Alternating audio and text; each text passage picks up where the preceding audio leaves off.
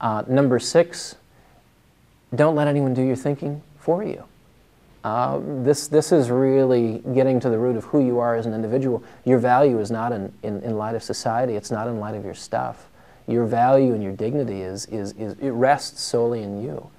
Don't let someone else think for you. Authority, Wall Street, government, it doesn't matter who the authority is. It doesn't matter if they have a PhD. The average man on the street, common sense, trust me, it's good enough. My grandmother was a brilliant woman not college educated, not even high school educated, but a brilliant woman.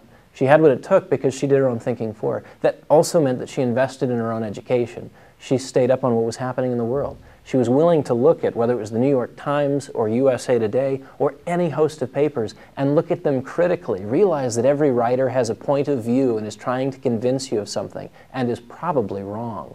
Is probably wrong. So engage critically, do your own thinking.